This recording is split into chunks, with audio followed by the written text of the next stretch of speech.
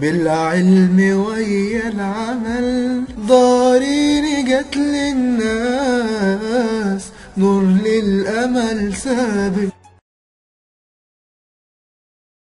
بسم الله الرحمن الرحيم. هنبدأ آه، محاضرتنا. النهاردة إحنا توقفنا المحاضرة آه، السابقة آه، عن عملية collect requirement. قلنا collect requirement ديت عملية بيتم فيها جمع المتطلبات وبحيث إن أنا أقدر أبني على أساسها بعد كده طريقة التنفيذ أو إن أفهم إيه الشغل اللي أنا محتاجه أساسا يعني إيه طبيعة الشغل اللي أنا هقوم بيه اللي ببني بعد كده على اساسه طريقة التنفيذ. ثم أبني على أساس طريقة التنفيذ أبني هيكل تقسيم الأعمال اللي هو ال WBS. وقلنا آه، إن المخرجات من العملية ديت requirement documentation وثيقة المتطلبات. و آه، requirement accessibility matrix. إحنا قلنا في حاجة اسمها accessibility matrix اللي هي آه، وثيقة بتشرح آه، المتطلبات. بتشرح كل متطلب تديله رقم معين آه، مختلف عن بقية المتطلبات بحيث إنه يبقى مميز للمتطلب ده. وبتشرح فيه طبيعة المتطلب دوت ومين اللي طالبه ومين آه، اللي هيتابعه أو مين اللي هينفذه. يعني بتشرح فيه تفاصيل عن كل حاجة تخص هذا المتطلب والحالة بتاعته آه، تم يعني تنفيذه أو لم يتم ومكانه فين في المنتج النهائي. يعني كبرو- كبرودكت آه، مكانه فين في ال- في ال- في ال product النهائي بتاعي بحيث إن أنا أحكم على هل المتطلب دوت اتحقق ولا لأ. أبقى عارف أنا هروح في أي جزئية بالظبط افتش عن هذا المتطلب وافتش على الحالة بتاعته. وقلنا ال tools كانت كتيرة شوية إحنا قلنا في tools كتيرة قوي في عملية ال collect requirement. وال tools ديت في كمان يعني بعد ما كانت tools في tools رئيسية بيتفرع منها كذا حاجة. تمام؟ آه،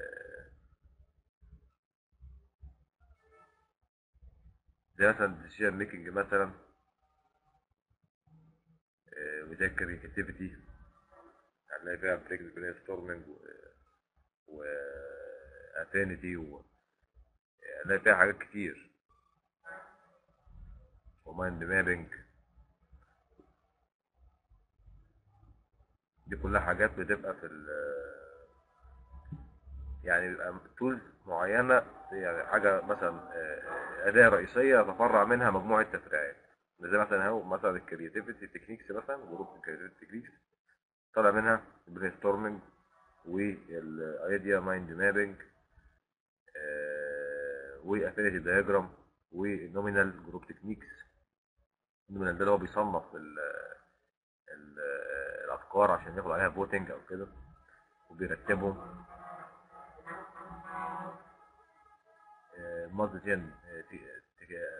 multi criteria decision analysis اللي هو لما بيجي ياخد قرار ما آه، يعني بيعرض القرار ده لأكتر من اختبار عشان يبدأ يشوف مثلا ياخد القرار ده إزاي. فما يبقاش القرار بناء على معيار واحد إنما على أكتر من معيار. كل ما عادة بيبقى فيه وزن نسبي هنا يعني. يعني بيحط مثلا وزن نسبي مثلا آه، على كل قرار من دول. يقول الحاجة دي مثلا من 2 من 10 الحاجة دي مثلا 3 من 10 الحاجة دي 4 من 10 يبقى بيحط أوزان نسبية آه، على الحاجات ديت يعني.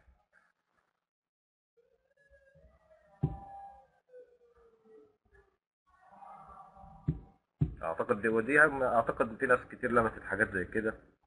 في مثلا يبقى استقصاءات رأي أو في حاجات مثلا استقصاء رأي العميل أو حاجة زي كده بتبقى نماذج وبيتقال فيها مجموعة من ال- الحاجات وبيبدأ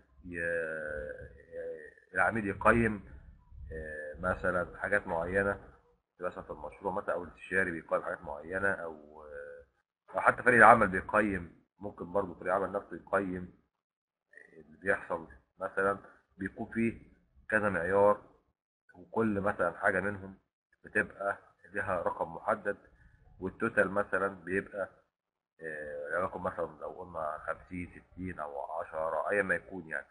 لكن بتختار أنت الحاجة ال- اللي تبقى آه، أهم يعني بتديها رقم كبير يعني. مثلا ممكن لو الدرجه مثلا من هنقول من 100 ممكن تبقى تلا- 30 من 100 على بند معين ونلاقي بقية البنود عليها 10 من 100 أو 15 من 100 أو 20 من 100 تمام؟ أما مثلا 30% دي ده مثلا بند أو البندين هم البندين الكبار اللي أنت يعني عايز لهم آه، قيمة كبيرة بحيث إن لو حد حقق 30% آه، 30 يعني 30 من 30 في الجزئية دي تمام؟ ده هيبقى 30 درجة من ال 100 هو حققهم فعليا تمام؟ بينما لو حقق آه، مثلا ال- الحاجة مثلا اللي هي الدرجه القصوى في البند ال- اللي مثلا أقل أهمية مثلا وليكن 10 مثلا فيبقى لو جاب 10 ب 10 في البند ده تمام؟ يبقى في النهاية ال 10 ب 10 دول ال 10 دول هتتجاب يعني هيتجابوا زي ما هم ويتحطوا آه، كرقم من 100 فيبقى ال 10 دول تأثيرهم في المية غير تأثير طبعا ال 30 في المية. يعني إحنا تأثير 30 في المية لما بتيجي تقول إن ده مثلا ماكسيموم بتاع بند معين أكيد ده ليه تأثير إن لو حد خد 30 من 30 في البند ده اذا هو آه، يعني إيه، آه، الوزن النسبي بتاعه أكيد أعلى تمام؟ فأنت بترتب الحاجات الأكثر أهمية ماشي؟ دي برضه طريقة لجمع المتطلبات. عشان تعرف إيه المتطلب الأكثر أهمية من المتطلبات. مش إحنا كنا بنقول أنت بتجمع طلبات متطلبات. وفي نفس الوقت أنت بتصنفهم وبتعمل لهم بريورتيز شوف إيه المتطلب الأهم بالنسبة للعميل إيه المتطلب اللي ممكن آه، يتأخر إيه المتطلب اللي ممكن لو أنا مثلا اتزنقت في الوقت مثلا أو في في الفلوس مثلا أبدأ أتناقش في إن أنا ممكن آه، ألغي هذا المتطلب مثلا فأوفر آه، فلوس معينة أو أوفر وقت معين. آه، يبقى أنا لازم أكون عارف إيه المتطلب اللي ما ينفعش مثلا يعني يبقى مش موجود. زي مثلا بعمل مثلا استاد أكيد لازم يبقى ملعب ال- الكورة مثلا في الاستاد لازم يبقى موجود دي حاجة رئيسيه ما ينفعش ان أنا أقول الملعب ده أنا مثلا هضحي بيه مش مش هعمله لأن هو أساسا هو أساس الحكاية كلها تمام؟ بينما أنا ممكن في الحالة دي مثلا آه، متطلب مثلا معين خاص مثلا ب ب ب ب مثلا مدخل الاستاد بشكل معين أو مثلا مدرجات معينة مثلا هتبقى مثلا بشكل ما مثلا أو حاجة حاجة خدمية جنب جوه الاستاد حاجات خدمية مثلا ممكن دي بقى فيها مثلا آه، أقل أهمية من من من الملعب نفسه. فده ممكن إن أنا آه، أستخدم خامات أقل آه، مثلا جودة مثلا في, الحاجة ديت. تمام؟ بينما ما أقدرش أجي ناحية جودة ال- الملعب نفسه. تمام؟ دي يعني حاجة حاجة كمثال يعني يعني إيه؟ إن أنا بلم متطلبات عن طريق حاجة زي كده. طيب إحنا المخرجات بتاعت العملية ديت. قلنا requirement requirement documentation اللي هي وثيقه المتطلبات و requirement traceability matrix.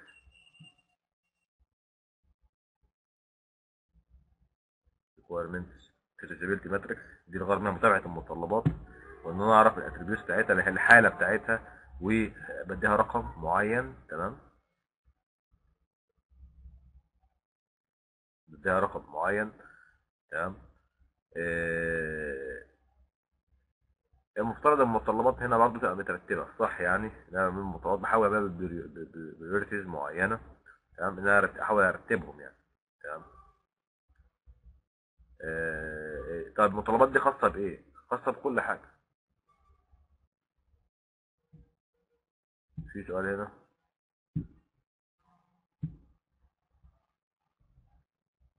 مين هم الناس المعنيين ومين هم اللي بيتناقشوا. يعني قصد حضرتك ال- ال expert judgment يعني؟ بص ال- بالنسبة لل, لل... في حاجة اسمها expert judgment expert judgment هو tool موجود في كل ال... ال- الأدوات هتلاقي معظم. أو معظم العمليات. فيها أداة اسمها expert judgment من الطبيعي إنك أنت يعني من الكلمة expert يعني أنا دلوقتي مثلا لو أنا expert في مجال هل ده معناه ان أنا expert في كل حاجة؟ لأ. أنا expert في الجزئية بتاعتي دي في المجال بتاعي. فأنا لما بتسأل هتصير على أساس إن أنا متخصص في حاجة معينة. تمام؟ أكيد لو في requirement خاصة بمتطلب تاني يعني لو أنا عايز ألم requirement خاصة مثلا بشغل مثلا في آه، مثلا آه، تصميم مثلا. تمام؟ وأنا مثلا راجل مش دارس تصميم هل ده إن أنا هقدر أكون يعني افتي في الموضوع؟ لا طبعا. لو آه، متطلب معين خاص مثلا بالشغل مثلا programming مثلا برمجة أكيد آه، أنا مش مش يعني هيبقى الشخص اللي آه، مختص بالموضوع دوت اللي هو بيقوم بالشغل أو راجل قديم في الشغل نفسه تمام؟ وهذا بيبقى مثلا مدرب وظيفي مثلا من أحد أهم الريسورس بتاعتك. أنت مثلا بتيجي تعمل شغلانه معينة ماشي آه، أنت ممكن تقعد مثلا مع مدير مثلا حاجة مثلا مدير المساحه مثلا. المساحه ده راجل مثلا آه، بيبقى مهندس مساحة قديم مثلا آه، بيشتغل في شغل مساحة كتير في مشروعات متنوعة يقدر يكون ليه مثلا رأي في في آه، حاجة خاصة بشغل مثلا آه، مساحة مثلا أو مساحيه في الموقع. تمام؟ عشان هو اكسبيرت في الموضوع. لو في مهندس شاطر في الموضوع أنت عارفه خلاص بت- بتبدأ تسأله بت- بتلم منه مجموعة من المعلومات. ماشي؟ على الأقل عشان تعرف إيه المتطلبات اللي أنت هتلمها. يعني حتى لو إن هو مش الشخص اللي أنت هتلم منه المتطلبات على الأقل تعرف لما تيجي تتكلم مع الشخص اللي, هو فعليا هتاخد منه متطلبات تكلمه في إيه وتطلب يعني تبدأ تتناقش معاه. لأن في فرق ان انت تكون فاهم المتطلب آه، المتطلبات دي على فكرة حتى كبيرة. يعني حاجة اسمها business analysis تحليل الأعمال. تحليل الأعمال ده أه- يعني كل ال- الشغل بتاعهم في جمع المتطلبات وترتيبها وتصنيفها وإن هو يعرف إزاي يعمل خطة لجمع المتطلبات خطة لتوثيقها. ماشي؟ آه، فلازم تبقى أنت فاهم إن عملية جمع المتطلبات دي مش مجرد واحد قاعد بيسمع ويلم متطلبات انت لازم تكون ليك وجهة نظر في ال business نفسه ده يعني انت هتتناقش معاه في ال business بتاعه. فلازم تبقى أنت عارف إزاي تحلل ال business بتاعه. أعرف إزاي أحلل ال business بتاع حد غير لما أكون أنا عندي خلفية ما عن نوعية ال business دي. طب بعرفها منين؟ بعرفها من expert judgment بقى. يعني ابدا أقول مثلا إيه يا جماعة أنا مثلا إيه، بلم مثلا requirement المشروع كذا مثلا.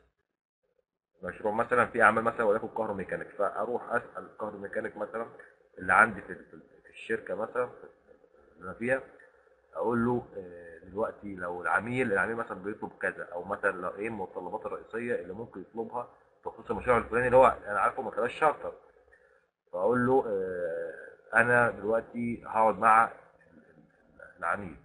تمام؟ فإيه الحاجات اللي آه، المفترض اتناقش معاه فيها؟ هو بقى بما انه هو متخصص في المجال يبدأ هو يقول خد بالك إن الشخص دوت بيقول إن هو هيطلب كذا وكذا وكذا وكذا. فأنت تناقش في الجزئيه لو طلب كذا ده مثلا تكلفته مثلا كذا فتبدا تناقش معاه.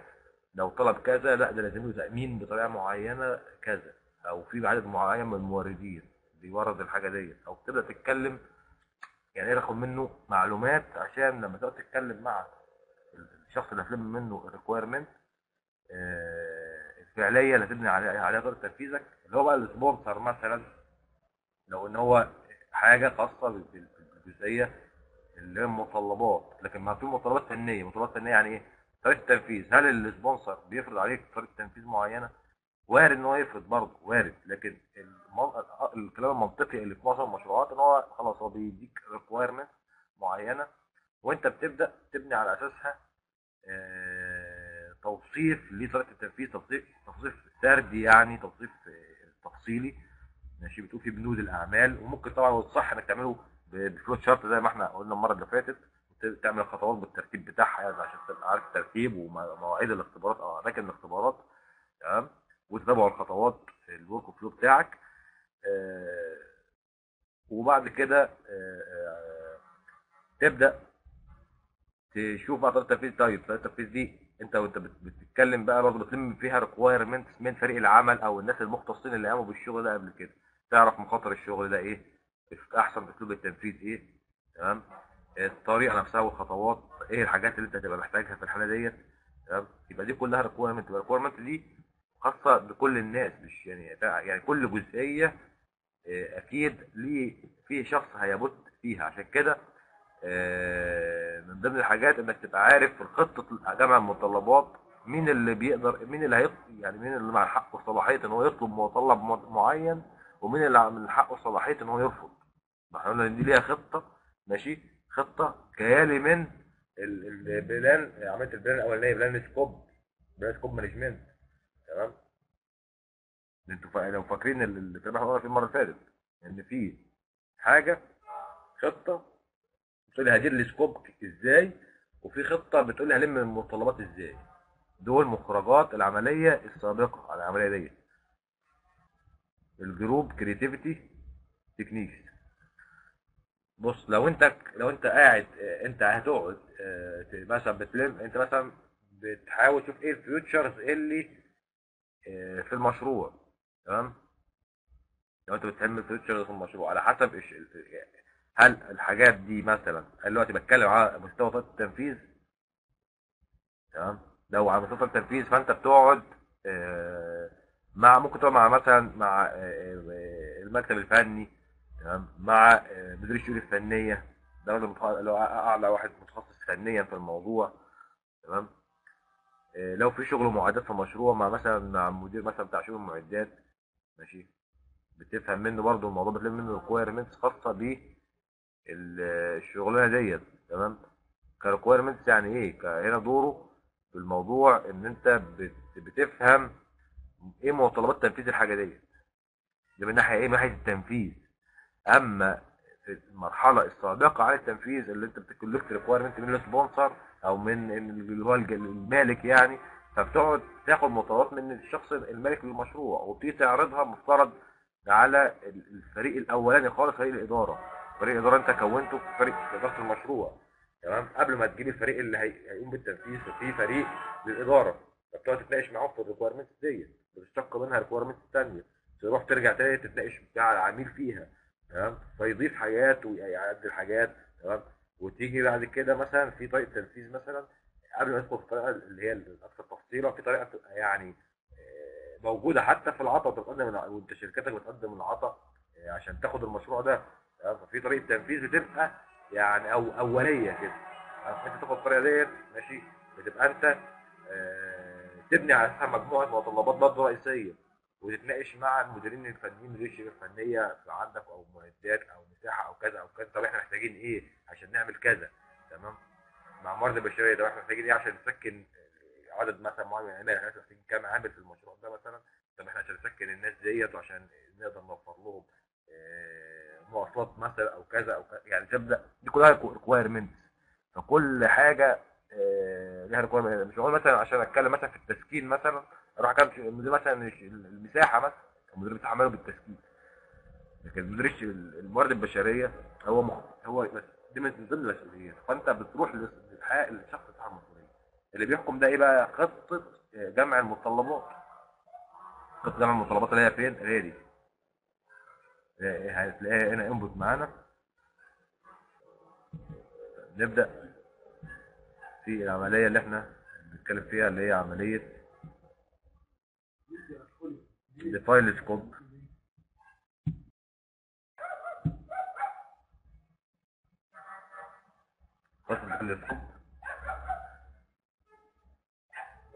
عملية ال define scope طيب إيه عملية ال define scope نقرأ كده مع بعض ال ده.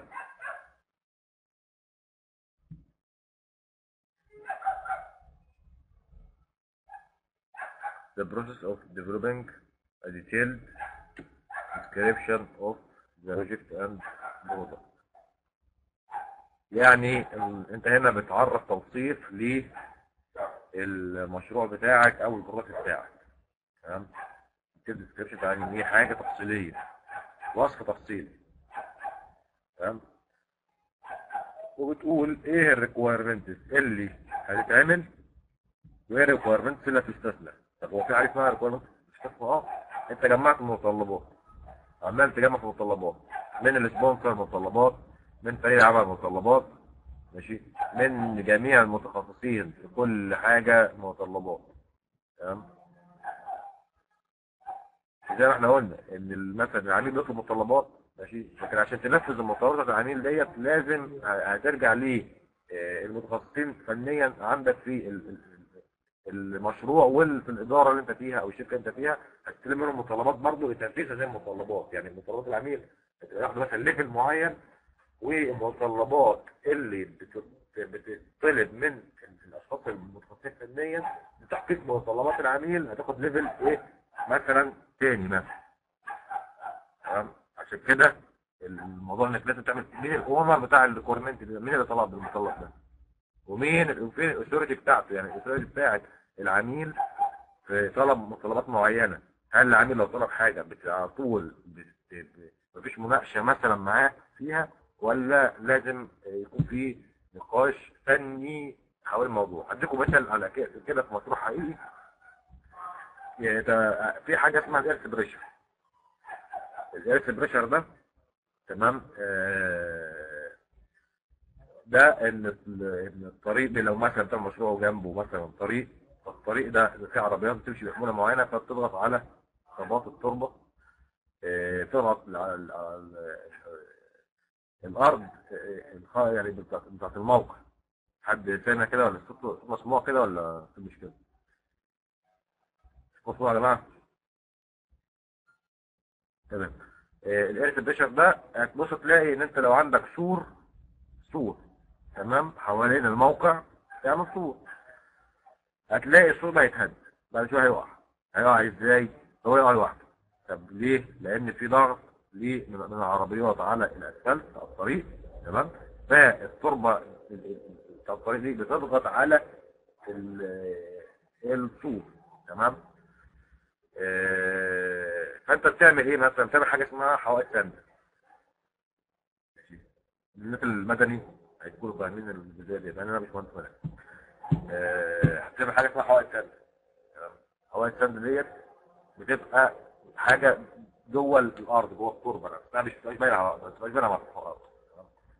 آه، إنما الغرض منها إن هي تاخد الضغط بتاع الإيه؟ ال earth pressure الضغط بتاع الأرض هي اللي تمتص هذا الضغط يعني. يعني شكل الرد فعل في إيه؟ في, في, في تجاه آه، الضغط. آه، طيب لو إن العميل مش فاهم حاجة زي كده. تمام؟ طيب ما ده كان requirement مين طالبه بقى؟ العميل؟ لا. مين؟ المتخصص فنيا. مين المتخصص فنيا؟ ممكن يكون مشروع لو هو فاهم فنيا. طبعا لو راجل مثلا راجل مثلا آه، مش مثلا مش مدني. فبالتالي مش فاهم الجزئية ديت. تمام؟ طيب آه، في الحالة دي في الحالة ديت لو انت راجل مش مش مدني أول حاجة التنفيذ ديت بيكون مين حاططها مكتب فني مثلا في الإدارة اللي انت فيها مثلا ماشي؟ آه، مع قسم الجودة هتلاقي كل المديرين مختصين يعني كل المديرين مختصين. لأن ده شغلانة فنية في مجال اللي شركتك شغالة فيه فمن الطبيعي إن الشؤون الفنية اللي في الشركة بتاعتك بتبقى ليها طريقة تنفيذ مثلا لمشروع كل مشروع كل نوعية من المشروعات ليها طريقة تنفيذ كده وبتختلف اختلافات بسيطة من مشروع للتاني يعني هي الاختلافات اللي بين المشروع والتاني لكن كل مشروع مثلا لو كل مشروع من نفس النوع آه، بيكون لها طريقة تنفيذ متعارف عليها يعني في الشركة اللي انت فيها. تمام؟ بتبقى معروفة بالنسبة للشؤون الفنية. فانت لو انك انت حتى راجل مش متخصص في النوعية دي من المشروعات بتبقى أكيد بتقعد مع الشؤون الفنية أو المكتب الفني التابع للشؤون الفنية آه، تتناقش معاهم في طريقه التنفيذ. وايه معوقات طريقة التنفيذ ديت. وطريقه التنفيذ دي تاخد وقت. يبقى الديوريشن دي بتعرفها أنت منين؟ إنك تقول activity معين بياخد duration كذا. تمام؟ أنت تعرفها من خلال انك بتعرف ال resources ليها إيه وبتعرف إزاي مثلا معدلات أداء resource معين. معدة مثلا معينة. معدلات ادائها قد إيه؟ في الساعة مثلا. طب ما تعرف أكيد من الشخص اللي هو مثلا المسؤول عن شؤون المعدات مثلا. اذا المتخصص الفني في كل حاجة آه، هو اللي بيقدر آه، يقول لك على مع- المعلومة. أنت مش هت- أنت أنت أنت مسؤول عن التنفيذ. لكن آه، في معلومات كتيرة و data كتيرة جدا بتاخدها من ال- الأشخاص اللي هم ال expert judgment ال expert الناس المتخصصين وال- والخبراء في هذا المجال. تمام؟ طيب preparation of a detailed project scope statement is critical to success of the project. يعني الموضوع دوت critical الموضوع ده آه، نجاحه أو إنك تعمل آه، وصف فعلا تفصيلي ودقيق وسليم لل scope بتاعك تمام؟ scope statement اللي هو method statement مثلا ديت بيبقى حاجة جوهرية وأساسية من غيرها ما ينفعش تشتغل أساسا. لأنك أنت هيكل تقسيم الأعمال هتبنيها على الأساس ده. تمام؟ و activities هتبنيها بناء على هيكل تقسيم الأعمال. وال activities دي هي اللي فيها كل ال- الحاجات بتاعتك. تمام؟ A detailed project scope.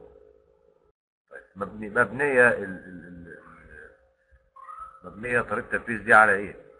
تمام؟ مبنية على آه، شيء مهم جدا. أول حاجة حاجات جاية لي من الشارتر افتكر كويس من ال charter ال major deliverable. تمام؟ المخرجات الرئيسية. إيه هي المخرجات الرئيسية دي؟ يعني آه، لو مثلا بعمل مثلا آه، محطة مثلا تحلية المية مثلا تنقية المية. ففي من الطبيعي ليها مجموعة آه، حاجات ما ينفعش ال- ال- ال- المحطه تشتغل من غيرها. تمام؟ هتلاقي في حاجة مثلا آه، مرشحات ومش عارف إيه حاجات إيه آه، لازم تبقى موجودة. ما ينفعش مثلا ميه من غير كده. تمام؟ في assumptions. طب assumptions يعني إيه؟ assumptions دي فرضيات. يعني إيه فرضيات؟ آه عشان أنفذ بطريقه تنفيذ معينة ماشي لازم يكون فيه آه فرضيات معينة أنا في حاجات معينة تكون هتكون متوفرة ليا. تمام؟ مواد معينة معدات معينة. تمام؟ فرضا إن المع... في معدات معينة آه، أنا مفترض إن أنا هنفذ بيه ثم بعد كده راحت مشروع تاني مبقتش متوفرة ليا. تمام؟ يبقى ده شيء مطلوب بالتنفيذ هنفذ إزاي؟ تمام.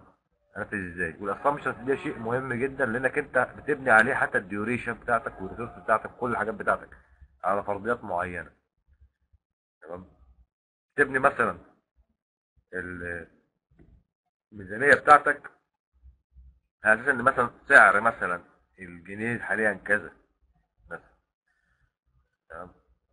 لأنك أنت سعر الجنيه مثلا بيسمى الدولار عشان بس تعمل هتعمل توريداتك وحاجات وهتشتغل تشتغل دولار. مثلا الدولار مثلا بيساوي كذا مثلا جنيه.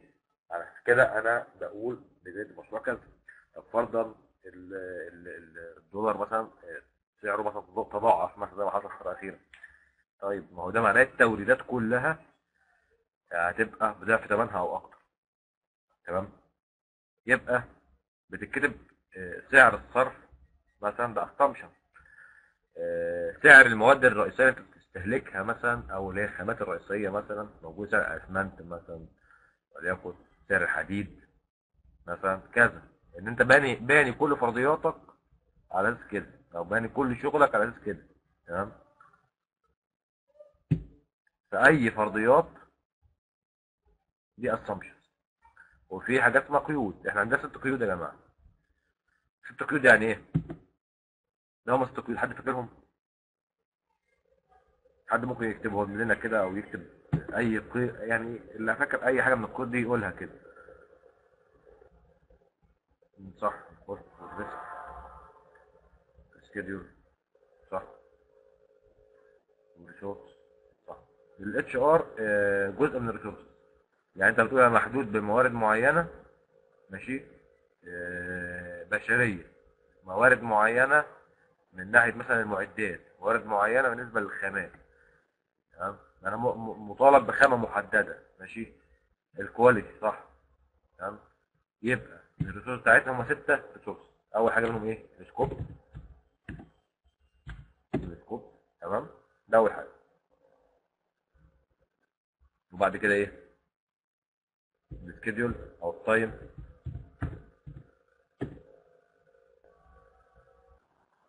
وبعد كده ال- cost. وبعد كده ال quality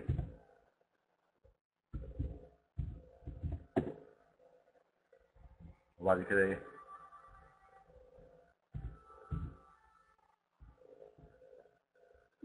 ال risk وال resources وال resources هي كل أنواع ال resources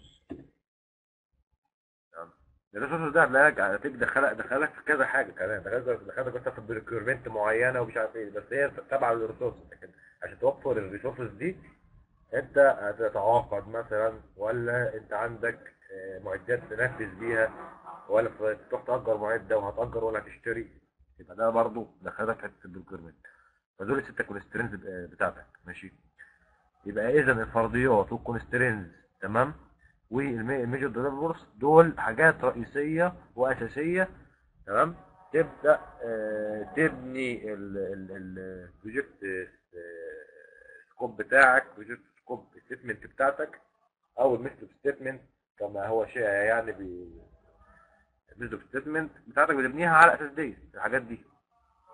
هتشوف ال- الحاجات ديت بتؤدي نتيجتها يعني ال ال ال هل طريقة التنفيذ دي تؤدي لإخراج هذه ال deliverables يعني كل deliverable معين. إيه التنفيذ؟ هل, هل في تنفيذ معين؟ بيؤدي في نهايته إن هو ينتج هذا المخرج. تمام؟ وهل أنت في طريقة التنفيذ بتاعتك راعيه ال assumption بتاعتك وال constraints بتاعتك مقدم ميزانية مثلا معينة طب ما أنا هعمل طريقه تنفيذ معينة بس هتكلفني فلوس كتيرة. إذا أنا هصرف كده هصرف ميزانية. لكن أنا مقيد بميزانية معينة أو مقيد ببرنامج زمني معين هعمل هنفذ طريقه تنفيذ معينة بس طريقه التنفيذ دي هتأخر لي كتير. تمام؟ يبقى الطبيعي إن أنا محكم بحته ال constraints ديت ولازم اراعي ال assumptions اللي عندي. الفرضيات الحاجات اللي بفترض إن هي موجودة. الشكل ده مهم جدا ليه؟ بيقول لي علاقة العمليات ببعضها. عشان يعرفك كل input للعملية ديت جاي منين. تمام؟ ال chart ده هتاخد منه إيه؟ ال chart جاي من عملية ال develop project charter طيب هتاخد منه إيه؟ project charter طب ليه project charter دي هتاخد منها إيه؟ تاخد منها مين deliverables ومين requirement تمام؟ طيب ال EEF وال OPA تمام؟ لازم تبقى داخله معانا هنا. ليه؟ لأنك أنت آه الهيكل الوظيفي هيفيدك جدا في الموضوع ده. قال شرطة الشركة بتاعتك هتفيدك. تمام؟ ال workflow ده بالنسبة لل OPA لكن بالنسبة لل EEF الفرديات بتاعتك سعر الصرف والحاجات اللي لسه كنا بنتكلم فيها ديت انك بنيت طريقة تنفيذ على assumption على توفر خامة معينة. انت طريقه التنفيذ بتاعتك هتن انك انت تشتغل بخامة معينة لتوفرها وان سعرها كويس مثلا سعرها مثلا مثلا مناسب تتخيل إن فجأة بتاع الحاجة دي مش متوفرة. طريقه التنفيذ بتاعتك هنا اللي كانت آه، هتمشي بطريقه يعني انت كنت هتنفذ بالطريقة دي لأن الخامة دي متوفرة فجأة الخامة دي ما بقتش متوفرة. فتخيل ده بقى يعني هي- شيء يأثر وما يأثرش على المشروع. يأثر طبعا. تمام؟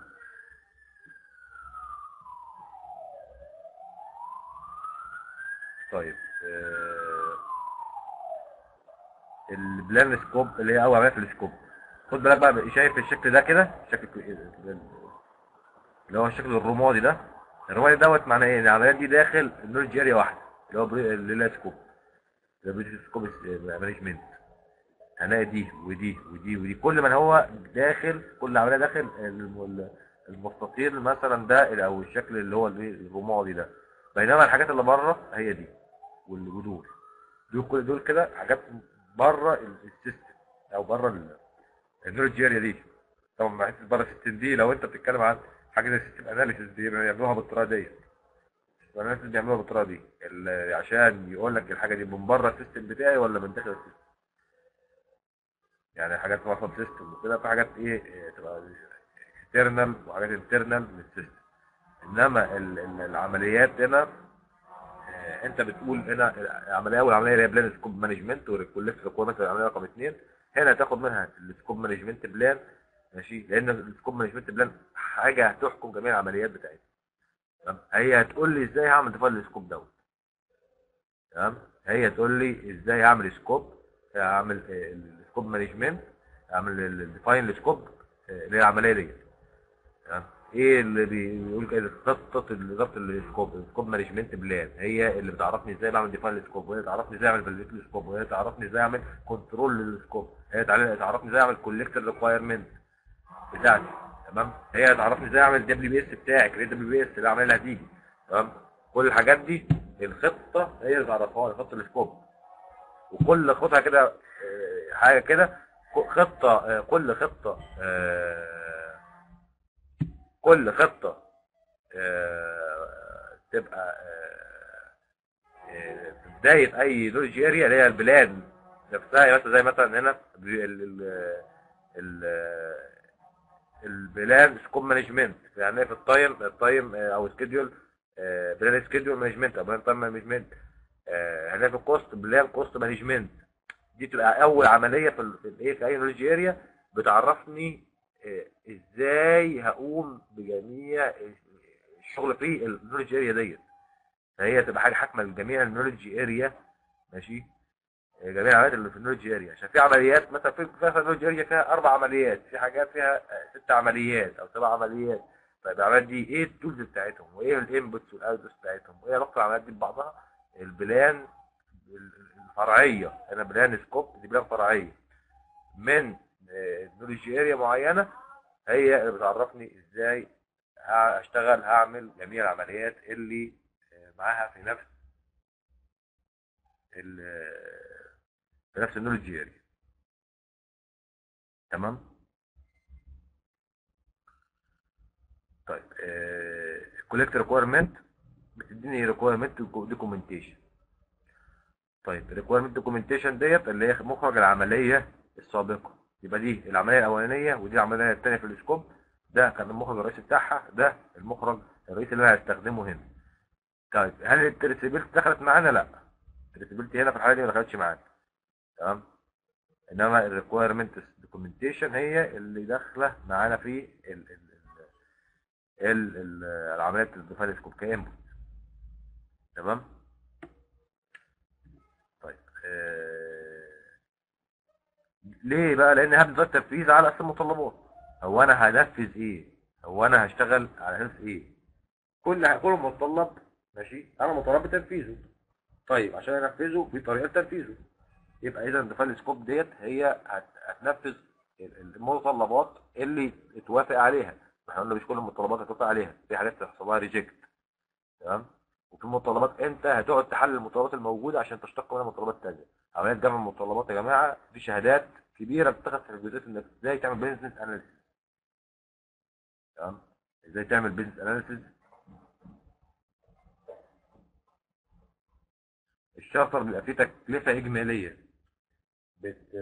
متعارف عليه بإن هي ممكن تزيد 75% أو تقل 25% تمام؟ وده هنعرفها بعد كده. إن هي ممكن تزيد 75% أو تقل 25% طيب المخرج بقى بتاع العملية دي؟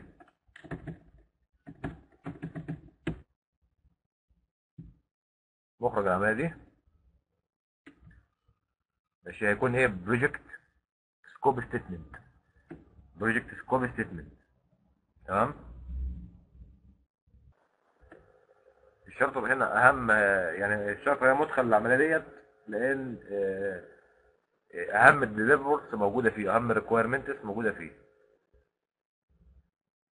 ال assumption برضه الرئيسية فرضيات ال constraints الرئيسية موجوده مكتوبة فيه. ما انت تقدر تنفيذ على ال constraints الرئيسية وال assumptions الرئيسية اللي موجودة معاك. يعني ممكن هو نفسه يقول لك نفذ بالطريقة الفلانية. يعني ممكن هو نفسه الراجل العميل لو انه متخصص في المجال يقول لك لا نفذ لي بالطريقة الفلانية. دي حاجة ده انت أصلا انت في حدود العطاء انت بتقدم طريقه تنفيذ يعني انت قسم العطاءات عندك في, في الإدارة بتاعتك أو في المكان اللي شغال فيه هو نفسه يبقى عنده طريقه تنفيذ. ماشي؟ بس ان الطبيعي إن الوصلات المشروع هو progressive elaboration فبالتالي كل ما بت بت بت بتدخل فيه المشروع أكتر كل ما بتاخد معلومات أكتر وكل ما بتعدل طريقة التنفيذ. تمام؟ وتعدل جميع الخطط وتلاقي الميزانيه اتعدلت معاك وتلاقي جميع ال... يعني مفيش حاجة أنت كنت مخطط لها من ساعات الانيشيشن بتفضل زي ما هي. تمام؟ الدكتور عطا قبل الانيشيشن أصلا كان الانيشيشن بي آه، أهم مخرج ليه الشرط مرحله الانيشيشن أهم مخرج ليه الشرط لكن الدكتور عطا ده إنك أساسا وأنت لسه بتقدم في ال- المشروع نفسه بتقدم لسه ما خدتش المشروع آه، بتقدم بتدرس المشروع وبتقدم دراسة مالية وفنية. فبالطبيعي إن في ميزانية تقديرية والطبيعي إن في طريقة تنفيذ ما آه، أنت آه، يعني حاططها عشان يبقى حاجة فنية. العطا بيدرس فيها فني ثم يدرس مالي. مع دي حاجة أعتقد يعني الناس اللي شغالين في المجال عارفين كده كويس إن لازم يدرس فني فلو نجح في الفني يدرس مالي تمام طيب ال project scope statement دي هيدخل معانا بعد كده في عملية إيه؟ في العملية اللي جاية ال create WBS. ويدخل معانا في عمليات النمره اللوجياري دي عمليات آه، آه، خاصة ب ال time تمام؟ اللي هي السيكونس الأكتيفيتي والإستيميت أكتيفيتي ديوريشن والديفلوبمنت سكيدول ماشي؟ وبيدخل برضه معانا في documents خاصة documents خاصة بالمشروع project documents دي آه، ممكن assumptions معينة مثلا دي تعتبر documents معانا ممكن آه، في milestone معينة أو work package ماشي؟ معين تعدل على أساس دوت يعني أساس التنفيذ ديت تمام؟ التنفيذ دي ممكن تبقى جزئية جديدة فيتم تعديل WBS بناء عليها تمام؟ فيتم تعديل ال work package بناء على تعديل ال WBS ال inputs إحنا استعرضناها سريعا. طيب إيه إيه هو ال scope management plan؟ إحنا قلنا آه، إيه فايدة ال scope management plan؟ ماشي. إن هي خطة فرعية وإن هي تحتوي آه، على جميع الحاجات جميع الأنشطة اللي هتمكنني من إن أنا أقدر آه، آه، أدير تمام ال- ال scope وإن أنا أتابع ال- ال scope وأراقبه وإن أنا اعمل control عليه و validate عليه. validate عليه اللي هو الموافقة الكتابية اللي إحنا قلنا عليها اللي هي وقت التسليم يعني للعميل ال project charter أهم حاجات فيه إيه؟ أو بيقدم لنا الإيه؟ ال high level requirement تمام؟ وبيقدم product description مش إحنا قلنا في حاجة اسمها product scope و project scope product scope ده بيشرح ال- ال- ال scope ك product تمام؟ اللي هو الدور الوظيفي لل- لل- لل- للمشروع نفسه الحاجات الوظيفية ال functional في المشروع. الشارتر فيه ح- فيه ال high level للحاجات ديت. آه، ال high level مثلا دي آه، محطة مثلا توليد كهرباء مثلا. ماشي. لو قلنا high level مثلا ال description لل product تمام؟ حد ممكن يقول لنا في محطة كهرباء مثلا ال high level product description تبقى إيه؟ تطلع مفترض يعني المخرج بتاعها إيه؟ كهرباء بس ميجا وات معينة مثلا. فالمقدار دوت ماشي؟ هو الحاجة اللي أنا ببني الخطأ على أو بي- سواء كانت حاجة لتوليد الكهرباء يبقى المفترض دي ليها product description كانت حاجة لتوليد الكهرباء. أما لو كانت حاجة للربط للربط شبكة ربط تمام بتبقى ليها product description أكيد مختلف مش كده ولا لأ؟ وليها معايير آه، معينة بالنسبة للقبول أو الرفض ليها تمثل هنا البيزس أو في بروجكت سكوب اللي هي القاعدة الأساسية ل البروجكت سكوب ستيتمنت النيوتن ستيتمنت بتاعتي بطريقة التنفيذ بتاعتي آه، القاعدة الأساسية بتاعتها الشارتر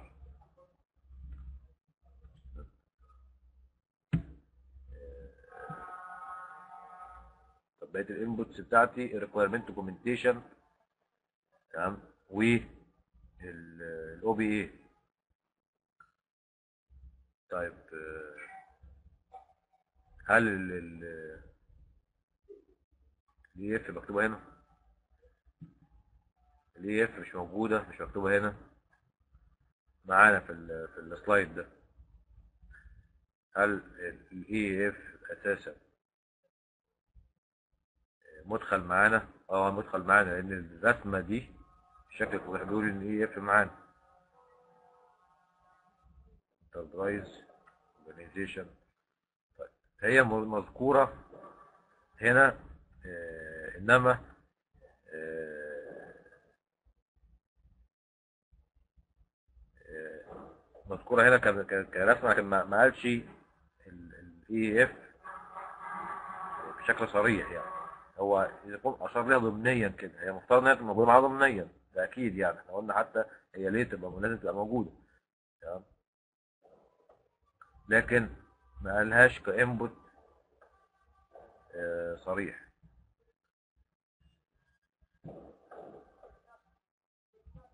ما قالهاش بإيه ك input ك input صريح. أنا بس يعني إيه آه، أشوف كده في ملف عشان برضو يبقى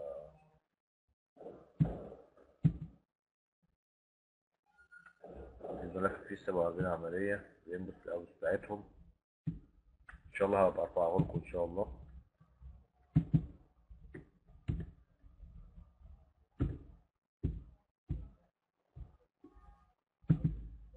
عشان بس يبقى إحنا إيه متأكدين من آه، طيب هي مش موجودة بشكل صريح يا جماعة. هي مش موجودة بشكل صريح. طب هي فرصة لو كده نرفع الملف ده برضو مش عارف امسح هو منطقيا إن لازم يبقى الاي اف موجودة معانا. موجودة معانا بشكل يعني هو في ال- في الديموك ما قالهاش كده. أنا بكتبها بهذا الشكل لما قال اورينتيشن و و و وتبرايز تمام.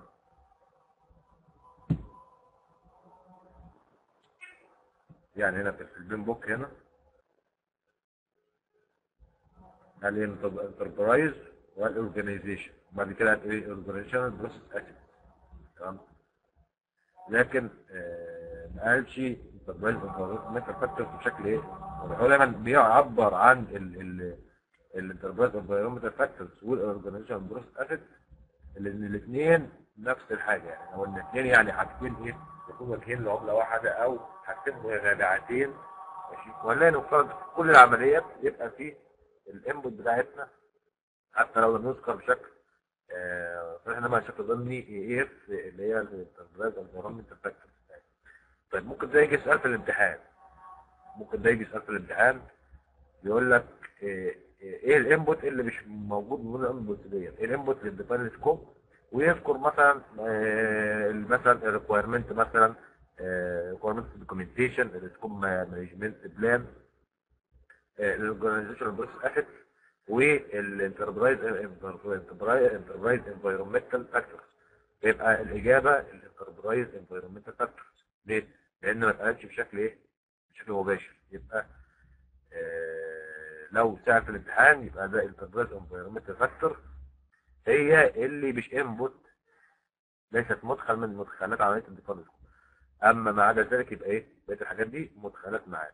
اما يبقى ال OPA مدخل اتقال بشكل مباشر. أما إيه اف لا. تمام؟ أما في الواقع العملي بره بقى الامتحان. الواقع العملي ال EEF منطقيا منطقيا ماشي موجودة في ال define scope دي منطقيا تمام؟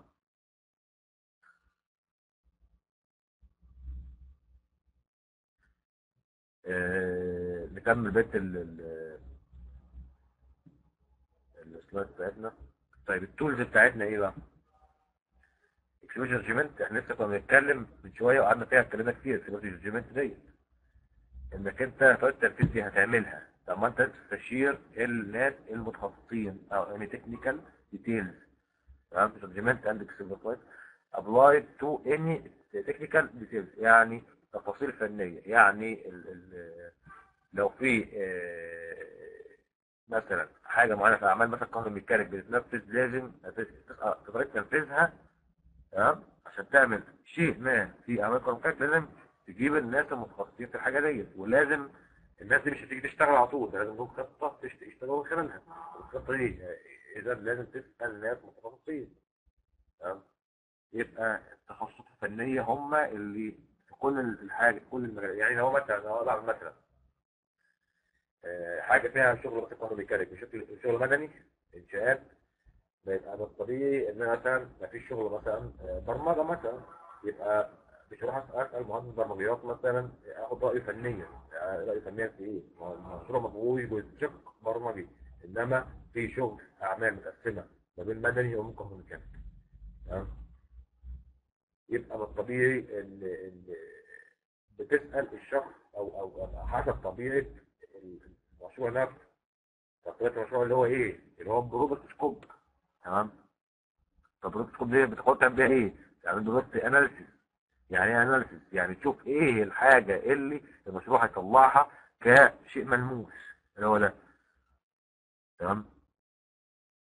ال tangible دي ملموسة تمام؟ نتائج أو مخرجات ملموسة. ماشي؟ شوف المشروع بتاعك إيه النتائج الملموسه بتاعته. أقول لك في شغل الموقع اللي إحنا اتكلمنا عليه تمام؟ ال website آه، بيبقى آه، ليه شكل خارجي. الناس كلها أو الشخص اللي طالبه العميل اللي طالبه مثلا ده شايف شكل معين. يعني إيه؟ هو عايز صفحة رئيسية مثلا بشكل معين. عايز الصفحة دي مثلا يكون عارض منتجات مثلا هو مثلا بيعمل عن منتجات مثلا. عايز المنتجات دي كل منتج يبقى ليه صورة تحت تحته سعر المنتج. عايز صفحة خاصة بالدفع الإلكتروني إن مثلا لو حد بيشتري مثلا منتج معين يتحول على صفحة مثلا بالدفع الإلكتروني مثلا أو قبل ما يحول على صفحه الدفع الالكتروني باول بيقول هو عايز آه، كام كمية نفسها من العنصر ده بيضيفها مثلا لحاجه اسمها سنه المشتريات مثلا. آه، لو عايز يشتري حاجة ثانية برضه بيضيفها آه، لسنه المشتريات ويضيف الكمية تمام.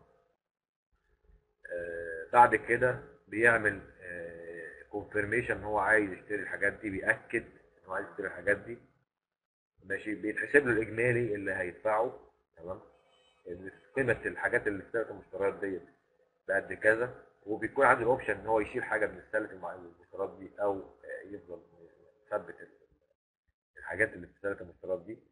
آه، ثم بتحول على آه، موقع يعني مؤمن للدفع الإلكتروني عادة بيبقى الموقع ده آه، بيبقى بره الموقع بتاعك فعليا بتبقى صفحة على موقع عالمي خاص بالدفع الإلكتروني أنت بتتعاقد معاهم آه، يعني كويس أنت شركة أو شركة بتعمل website بتتعاقد أنت معاهم على إن هم يقدموا لك خدمات ال security للموقع بتاعك أو للدفع بتاعك اللي أنت عندك دفع إلكتروني تمام؟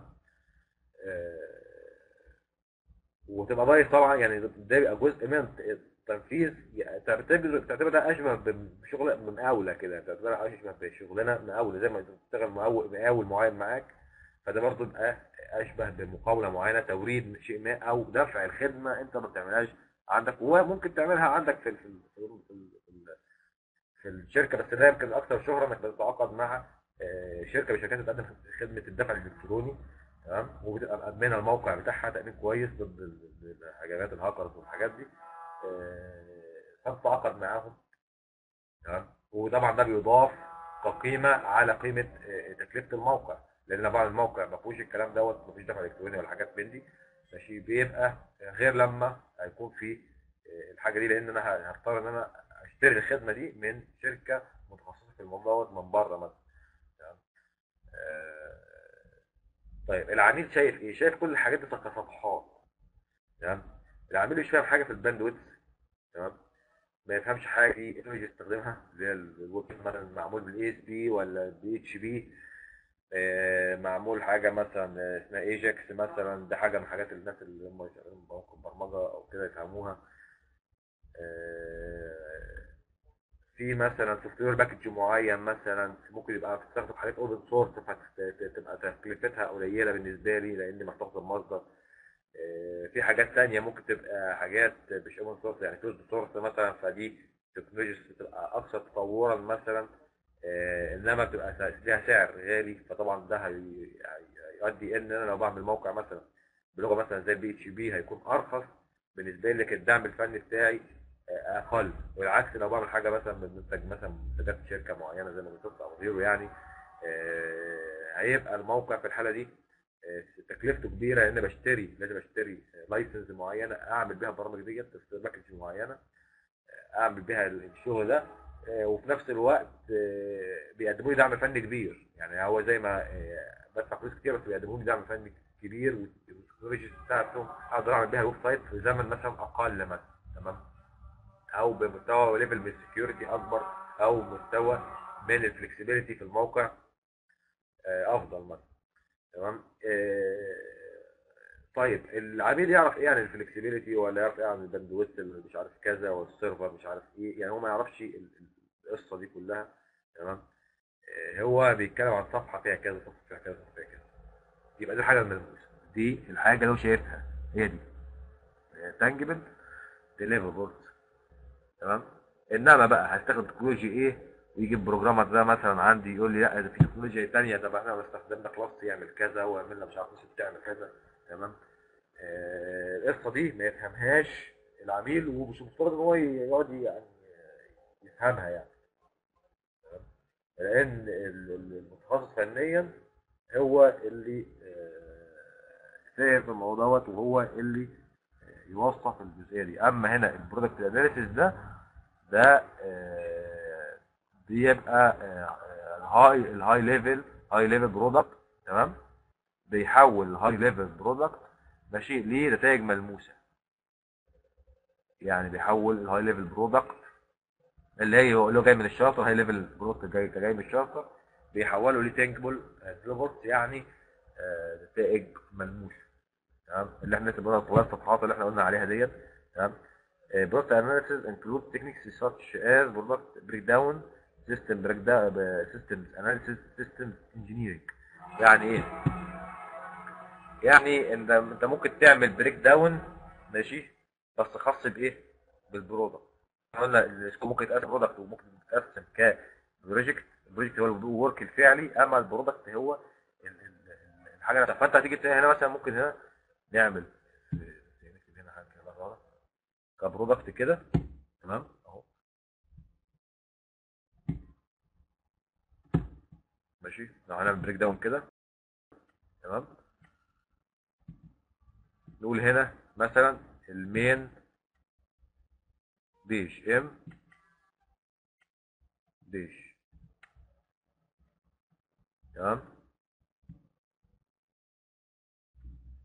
main page ماشي متقسمة لإيه؟ دي بقى اللي إحنا شايفينها بعينينا أهي. مثلا منيو معينة مثلا منيو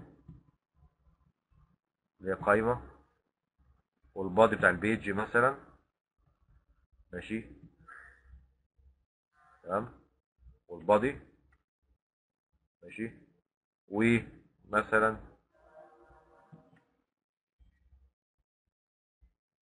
مثلا أي حاجة مثلا زي آه، footer مثلا. الموقع بس footer مثلا الصفحه تمام؟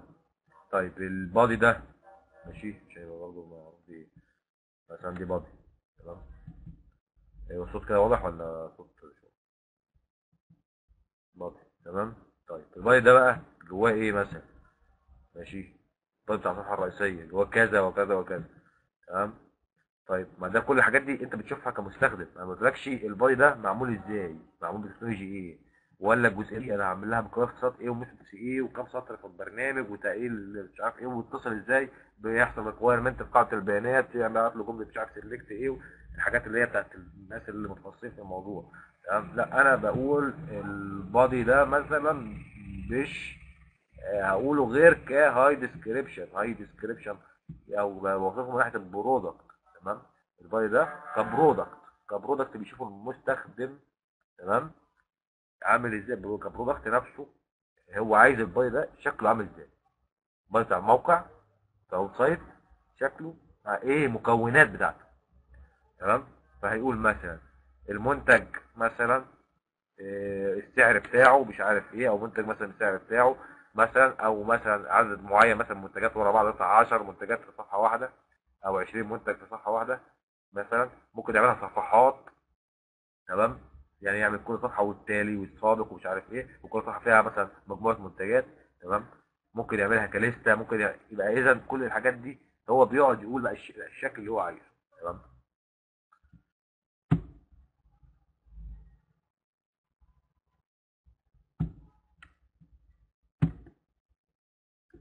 ال system analysis ده بيعرفك ال system وال sub system يعني ال system ده متكون من كذا system فرعي وال system الفرعي ده ليه مدخلات وليه مخرجات بالشكل اللي هو اللي إحنا كنا لسه قايلينه في شكل العمليات دي.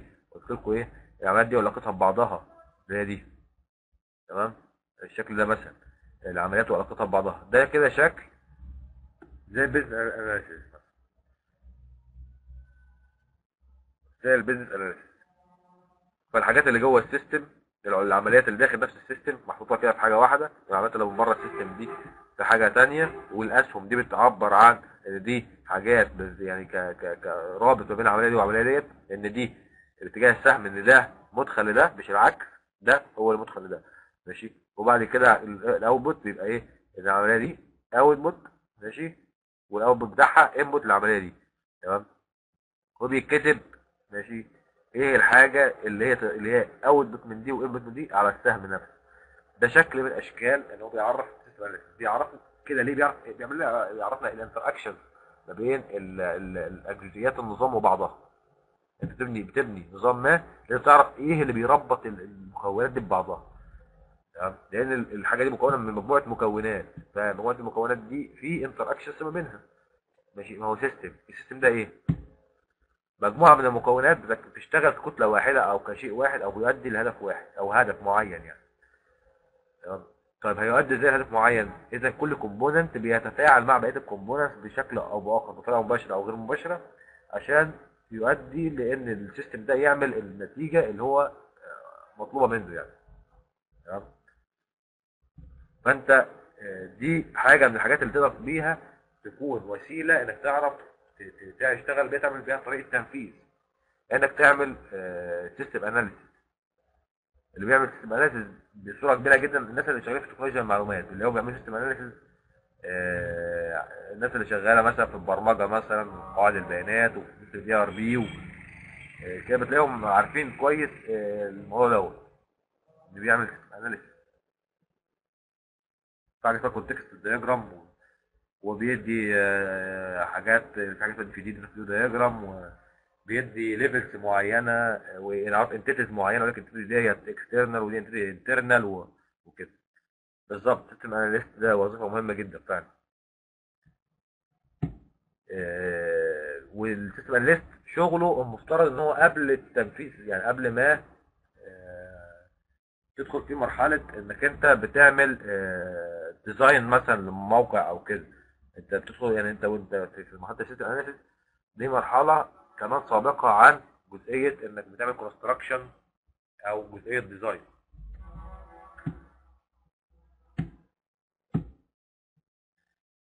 ولازم نفرق بين ال system analysis وال business analysis ال business analysis ده لم جمع متطلبات. يعني الراجل فاهم بيتكلم معاك في ال business بتاعك نفسه. تمام؟ ويتكلم معاك في المتطلبات وتصنيفها وترتيبها أو الأولويات وال documentation بتاعتها وخطة جمعها وخطة تصنيفها. دي حد الحدوته بتاعت ال business analysis أما ال system analysis ماشي؟ ده اللي بنتكلم في دي دي في دي ده تفصيل diagram تمام؟ آه وهي فعلا وظيفة مهمة جدا فعلا. ماشي؟ ويا ريت فعلا لو حد خد خلفية كده عن ال system analysis يبقى شيء كويس جدا. حتى لو بره موضوع تكنولوجيا المعلومات ال system analysis بيتكلم عن أي نوع من أنواع ال system. يعني بيقول بتوع تكنولوجيا المعلومات مشهورين هم إن هم بيهتموا جدا بال system analysis آه لكن لو إن أي حد من بره تكنولوجيا المعلومات اهتم بحتة ال system analysis ده شيء آه مهم جدا. يعني شيء هيكون إضافة كبيرة. إحنا قلنا في حاجات كده ممكن فعلا تصنع فرق كبير. وإنك مثلا تبقى راجل مثلا فاهم في في, ال في التعاقدات برضو دي حاجة تصنع فرق كبير. إنك تقرأ عقد معين وتطلع آه، تحلل ال analysis للعقد ده آه، شيء مهم جدا. إنك تبقى فاهم التعاقدات كويس تمام؟ ده شيء مهم. إنك تبقى فاهم يعني إيه data analysis إزاي أعرف أعمل. يعني لو بتاعت التنفيذ دي بتيجي من التنفيذ إزاي أعرف أعمل لها اناليسيز معين عشان باخد على قرار؟ ده برضه حاجة كويسة جدا. تمام؟ مهارات التفاوض دي حاجة مهمة جدا جدا. في شوية حاجات كده تفرق فعلا ما بين مدير مشروع ومدير مشروع. يعني تخلي مدير مشروع يبقى عبقري فعلا وحاجة تانية ممكن تبقى إيه يقول لك مثلا ده راجل مثلا آه، هو آخره تنفيذ تمام ف ده ممكن يفرق شخص عن شخص يعني. رقم ثلاثة ال alternatives identification identification تعريف ال alternatives اللي هي البدائل. طيب يعني إيه بدائل؟ البدائل دي يعني أنا بنفذ إذا أكيد آه، قدامي كذا بديل للتنفيذ كذا خطه تنفيذ أو كذا طريقة تنفيذ مختلفة. هفاضل ما بين الطرق دي وبعضها. هفاضل ما بين الطرق دي وبعضها. أشوف أكثر طرق مثلا آه، خطورة أكثر طرق امانا. كل طريقة إيه إيه مخاطرها. آه، كل طريقة من دول إيه تكلفتها إيه التايم بتاعها إيه مزاياها عن بقية الطرق. هل عندي الكفاءات والكوادر اللي أقدر أنفذ بيها الطريقة ديت؟ يعني ممكن يكون في طريقه ما ما عنديش كوادر تنفيذ هذه الطريقة اضطر أعمل تعاقدات مثلا والتعاقدات دي بتكلفة كبيرة مثلا عشان أجيب ناس تقدر تعمل الشغل ده؟ ممكن يكون عندي معدات معينة تجبرني على طريقة تنفيذ معينة. عشان أنفذ طريقة ثانية لازم أجيب أشتري معدات ثانية أو استنضف معدات ثانية آه، وده يبقى التكلفة كبيرة. تمام؟ فأنا اذا أنا برضو محكوم بالريسورسز بتاعتي. وقد أكون محكوم بان العميل طالب طريقه تنفيذ معين لو إن هو راجل فاهم فنيا في, في, في الشغل ده ممكن يكون آه، العميل ممكن يوصل إن هو بيطلب منك أو بي يعني هو بيبقى ليه شرط مش مش بيطلب ممكن يكون ليه شرط ما إنك أنت مثلا تشغل مقاول ما محدد هو اللي يحدده لك أو الباطن يعني أنت مفترض إن هو الباطن ده هيشتغل تحت تحت منك أنت تمام؟ إلا إن العميل بيشتغل عشان يديك الشغلانة يديك المشروع إنك تشغل مقاول ما مثلا تمام؟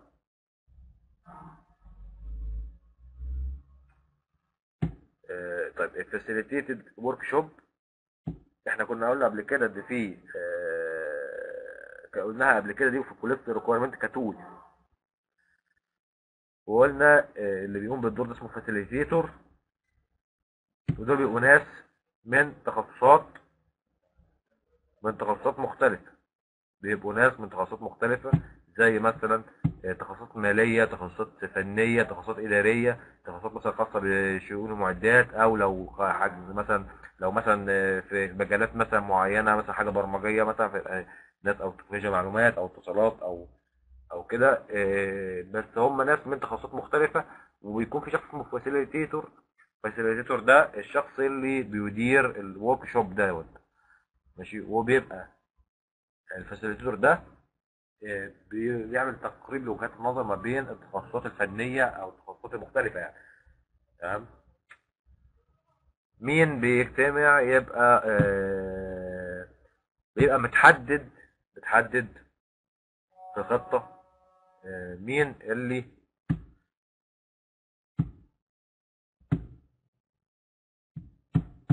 بيتحدد في خطة مين اللي بيبقى يجتمع في ال في ضغط السكوب نفسها. يعني مين اللي هيجتمع هنا عشان يحدد طريقة التنفيذ؟ أو مش بيحدد إنما هو هنا بي... كل واحد بيضيف حاجة. يعني أنت في النهاية طريقة التنفيذ دي كل واحد من الناس دي بيقول الجزئية دي تعمل بكذا ويبدأ يقول طب التكلفة المالية بتاعتها طب إحنا محتاجين بتاع الماليه بقى مالية يقول لك ما إحنا ما عندناش تمويل تمام؟ يبقى إحنا كده ما عندناش سيوله هنضطر نعمل تمويل بكذا. أو نشوف مصادر تمويل. فبتاع مثلا ال ال ال مثلا الراجل مثلا متخصص الفني مثلا ماشي؟ بي مي بص facilitator في الحالة ديت انت كل ده يعني انت هنا في انت مسؤول انت مسؤول كم- كمدير مشروع انت مسؤول عن التنفيذ. تمام؟ ممكن يبقى المديرين الوظيفيين في الإدارة بتاعتك. تمام؟ وممكن يبقى مهندسين من ال- المكاتب ديت. يعني انت بتطلب مثلا ماشي آه، تعرض كل ده اصل كل ده محدد تخطيط قبل التنفيذ تمام؟ قبل التنفيذ. فانت في المرحلة دي ماشي ممكن بتطلب من ال program manager مثلا أو من ال PMO أنا عايز أعمل خطة كذا. دلوقتي أنا عايز أقعد مع آه، اجتماع مثلا بتبقى مثلا نقول بيترك الصلاحية ليك مثلا من مدير إدارتك مثلا أو إن ال PM أو مثلا بي- بي- بيكون معاك مثلا إيه، إن أنت تجتمع بجميع المديرين الوظيفيين مثلا. فيبقى دي عشان تتحط خطة مشروع كذا يعني حط خطة إدارة مشروع كذا فاهم من أهم جزئيات الخطة طريقة التنفيذ. يعني طريقة تنفيذ المشروع ده ماشي عشان نطلع مثلا بحاجة مثلا بطريقة تنفيذ مثلا سليمة لازم يبقى فيه كل المعنيين بالتخصصات الفنية دي موجودين تمام؟ فتقعد مع جميع ال- ال- في اجتماع مثلا في الاداره بتاعتك مثلا مع إيه، مدير الشؤون الفنية مدير المعدات مدير المساحه مدير المالي مدير الإداري إيه، كل الناس اللي ممكن يبدأوا يتناقشوا مع بعض في كل البدائل المطروحة تمام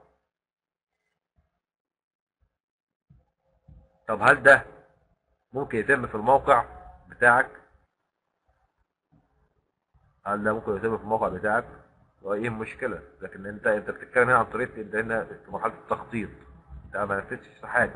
فرضا انت كنت واخد موقع مثلا ما وبتبدأ تحط خططك مثلا. ماشي؟ وإنك أنت استخدمت ال- ال- الفريق الإداري مش الفريق بقى ال- الكلي لا الفريق الإداري اللي هو ال team بتاعك بتاع الإدارة. ال team اللي هيدير معاك فال team ده مكون من مثلا آه، مهندس مثلا مدني ومهندس مساحة ومهندس ميكانيكا؟ فممكن آه ممكن تبقى دول هم دول متخصصين ومحاسب ومثلا آه، متخصص في الموارد البشرية؟ فتقعد وتتكلم معاهم في طريقة التنفيذ عادي جدا على فكرة بس طريقة التنفيذ ال- المنطقي فيها أو لازم شيء رئيسي فيها الفني المكتب الفني. المكتب الفني ده شيء رئيسي. المكتب الفني ده هو اللي, اللي, اللي بيسأل يعني هو ده المتخصص الفني في الموضوع. لأن أنت ممكن كمدير مشروع ما تبقاش متخصص في الموضوع. بص بص يا هندسة ما يعني ما تتقيدش هنا بحاجة معينة. كل مشروع ليه آه ليه آه معين من يعني مثلا نوع معين من إيه يعني من خصوصيه يعني. فممكن في مشروع ما إن العميل فاهم في طريقة التنفيذ فبيفرض عليك طريقة تنفيذ معينة أو يقعد يتناقش معاك وهيحضر الاجتماع ده. ماشي؟ ده يحضر آه ممكن يحضره آه. تمام؟ لأنه هو فاهم في الموضوع وهيدلي بداله في طريقة تنفيذ معينة ولا يتناقش معاك في طريقة اللي تتكلم فيها ويضيف ويقول ويقول بدايل ويقول مش عارف كذا. تمام؟ ممكن يكون آه يعني الاجتماع ده آه وارد طبعا يبقى فيه العميل. تمام؟ ووارد إن أنت أنت حر في التنفيذ بتاعتك. فتبقى ال facilitated workshop في الحالة دي أنت قاعد مع المديرين الوظيفيين بس في إدارتك من غير بقى العميل ولا حاجة لمجرد إنك أنت تفهم هتنفذ إزاي. تبقى أنت حاطط خطة هتنفذ إزاي. تمام؟ وعايز ان إنك أنت ال- ال- ال- الكلام ده هيتبقى WBS وتتعمل activities على أساسه وهتطلب resources من المديرين اللي كانوا قاعدين معاك دول ماشي؟ هتاخد بقى من دوت مهندسين مهندسين مساحة اللي هو كان بيتكلم شغل في شغل مساحة اللي كان بيتكلم في شغل معدات معينة تاخد منه معدات معينة اللي كان بيتكلم في شغل فني معين ماشي؟ هتبقى أنت آه، هو آه، الحاله دي لازم هيساعدك في تنفيذ ال- ال- الناحية الفنية تمام؟ آه،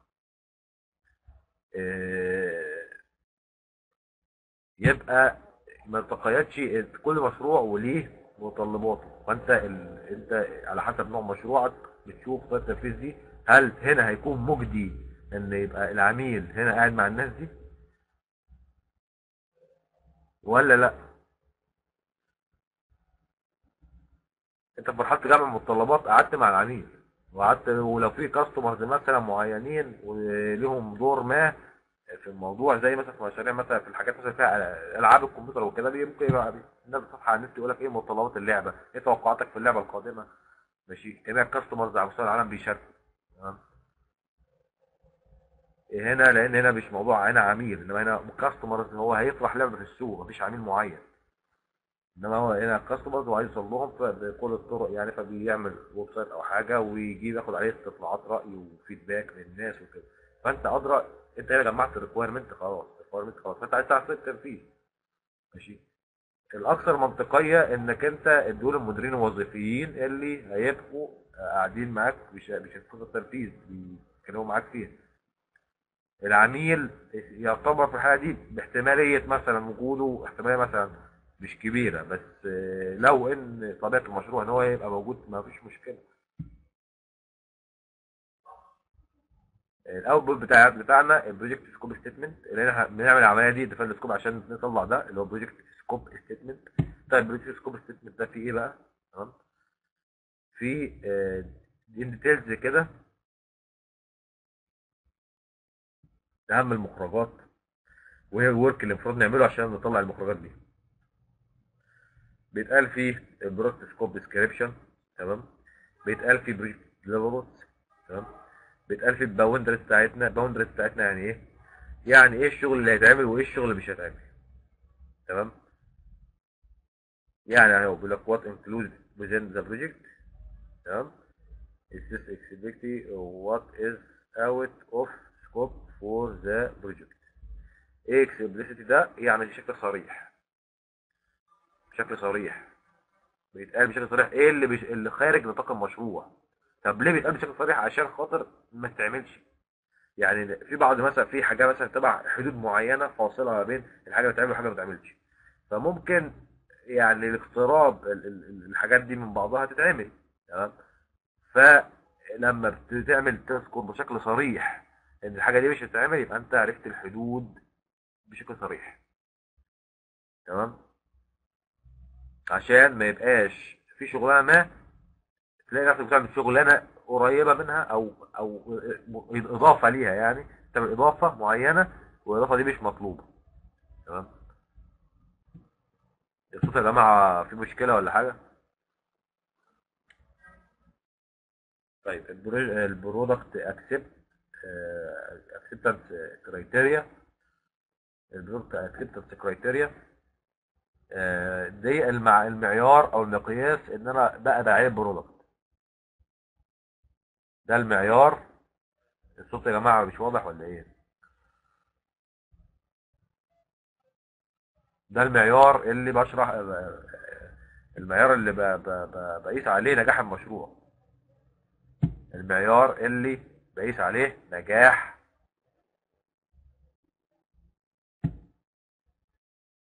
نجاح المشروع. يا جماعة في مشكلة في الصوت؟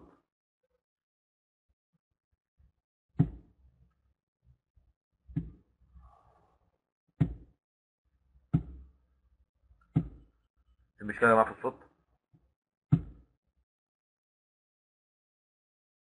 طيب ال products acceptance دي إن أنا هقبل يعني معايير القبول والرفض. لاي criteria طب إيه ده جاي لي منين؟ من كل deliverable معين ماشي؟ كل deliverable معين تمام؟ آه، ليه تخصص فني أو شيء وظيفي تمام؟ ليه شيء وظيفي؟ فأقول إيه معايير القبول والرفض فمثلا هقول ده إيه؟ تخيل مثلا إنك أنت آه، تخيل إن أنت مثلا في ال website اللي إحنا كنا بنتكلم فيه تمام؟ عامل acceptance criteria إن مثلا آه، لو دخل في نفس الوقت الموقع يستحمل مثلا أو 10000 شخص مثلا الموقع يستحمل. ما يحصلش إن الموقع مثلا آه، يقع أو كده آه، في حالة آه، مثلا تستخدم في نفس الوقت مثلا أو عمليات شراء مثلا. تمام؟ سرعة الموقع نفسه. اللي مثلا ما اقعدش عشان بشتري منتج الصفحة مثلا كل ما ادخل على صفحة تحولها في صفحة دفع الكتروني تقعد دقيقة تحمل الصفحة مثلا وكده دي برضو معايير قبول ورفض مش كده؟ ولا لأ. طب لو قلت لك التصميم بتاع الموقع يكون كويس. تصميم الموقع يكون كويس. هل ده معيار ملموس أو معيار تقدر تقيس بيه نجاح أو فشل الموقع؟ هل ده درجة يعتبر criteria درجة criteria يعتد بيها؟ حد يا جماعة يعني ويجاوب على السؤال ده؟ لو قلت الموقع ال website بقى ليه ألوان كويسة أو تصميم كويس. هل ده آه، شيء مثلا آه، مقبول من ناحية إن هو يبقى product acceptance criteria لا. ليه؟ لأن كلمة آه، تصميم كويس شيء مش ملموس. شيء مش مش قادر أوصفه رقميا. مش قادر أوصفه كداتا كده أقول مثلا آه، آه، زي مثال مثلا درجة الحرارة مثلا هي درجة حرارة مثلا شيء ما توصل مثلا 35 مثلا. آه، تزيد مثلا تبقى 36 تقل تبقى 34 يبقى هي حدود من 34 ل 36 مقبولة آه، فوق كده أقل من كده مرفوض مثلا. مفيش هنا حاجة آه، ثابتة مثلا. مفيش ملموسة آه، أو تقدر تقول عليها ت- تستطيع قياسها. فلازم ال product acceptance criteria يكون حاجة تستطيع قياسها. دايما أهدافك في كل حاجة بقى. يعني أهدافك في كل حاجة خلي لها شيء ما تقدر تقيس تقيس بيه نجاح أو فشل الهدف ده أو نجاح أو فشل ال- ال- ال- الشيء اللي أنت عايز تعمله أو توصله. لازم يكون في نتائج ملموسة. project constraints and assumptions ماشي؟ الفرضيات وهنا الشارتر بيبقى فيه high level constraints و assumptions تمام؟ آه، ببني طريقة تنفيذ. بناء طريقة التنفيذ دي مرتبطة بدول. هو طريقه التنفيذ دي بناء على إيه؟ بناء على الحاجات دي. الحاجات ال constraints دي ماشي أدت لإن أنا ملزم بأشياء معينة. تمام؟ أ- أنفذ بطريقة ما. وال assumptions الفرضيات بتاعتي ماشي خلتني انفذ بطريقة ما باعتماد اعتماد على الفرضيات ديت ماشي؟ اعتماد على الفرضيات ديت أنا نفذت بها اعتماد على فرضيات معينة تمام؟ ومحكوم ب constraint معين قيود معينه تمام؟ فلازم تذكر مع طريقة التنفيذ. هل حد شاف طريقة تنفيذ فيها كده الفرضيات وال constraints بتاعتي وال acceptance criteria بتاعتي تمام؟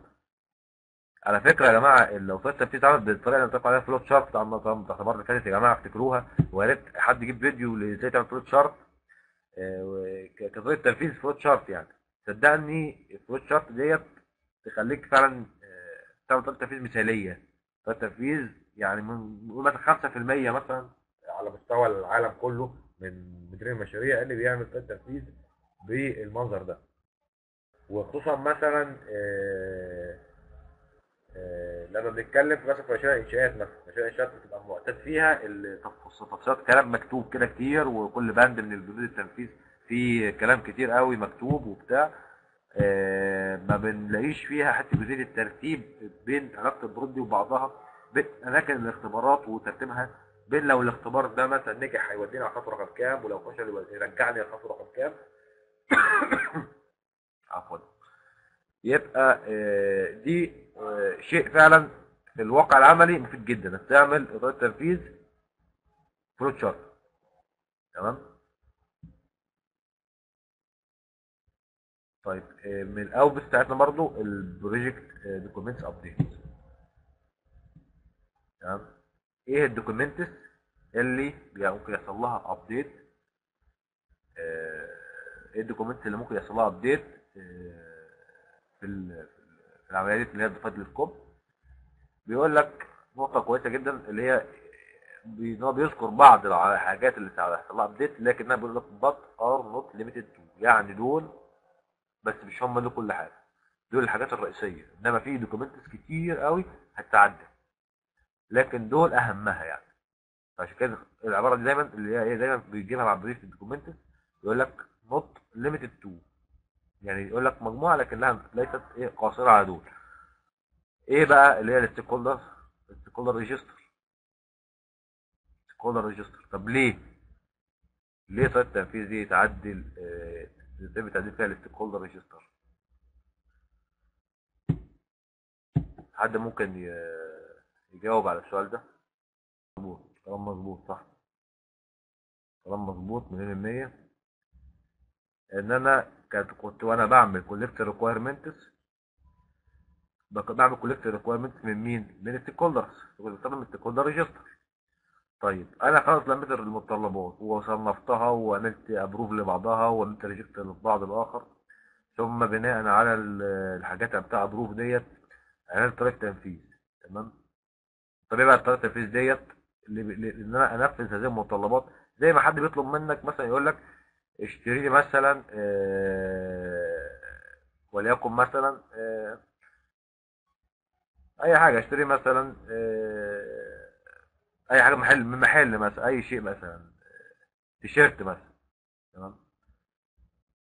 فهتروح تشتري تيشيرت مثلا أو تشتري مثلا شاشة كمبيوتر مثلا. طبعا عشان اشتري شاشة كمبيوتر. طيب يبقى في هولدر معين ظهر. إيه هو؟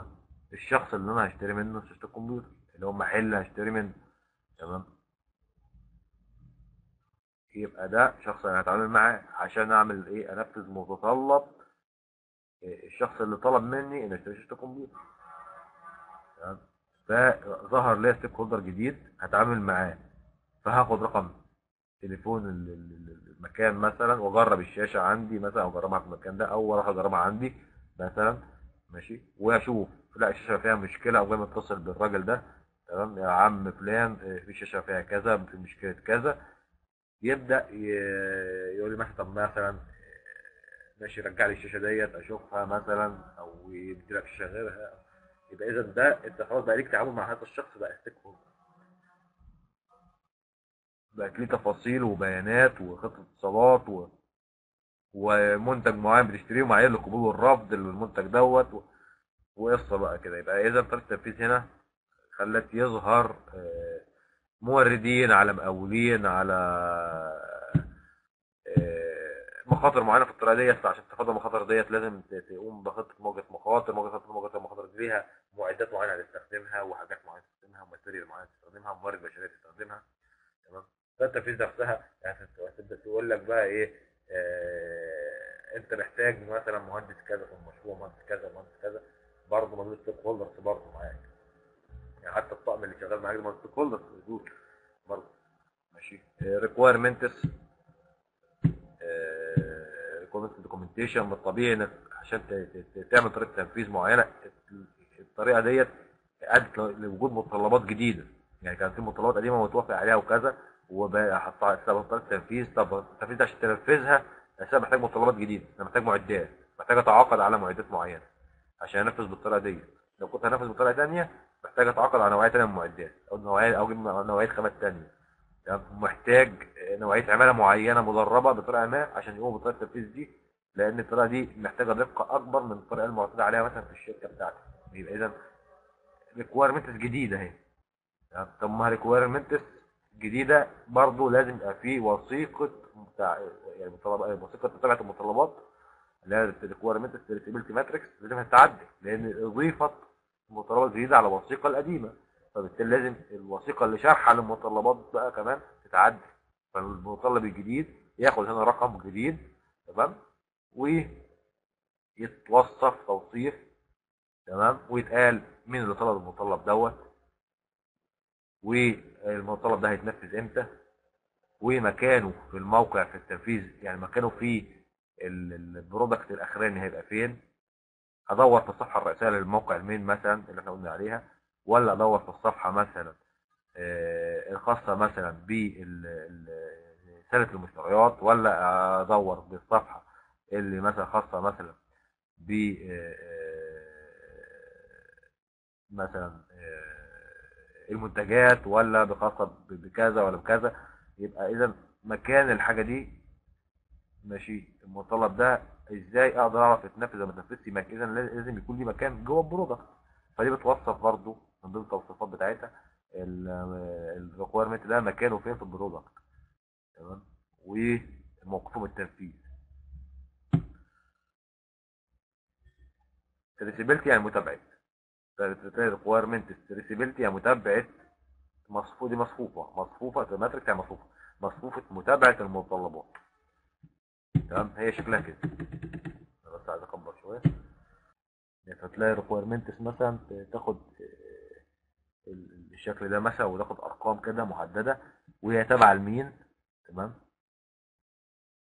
دي. تمام؟ وبيتقال اتنفذت ولا ما اتنفذتش.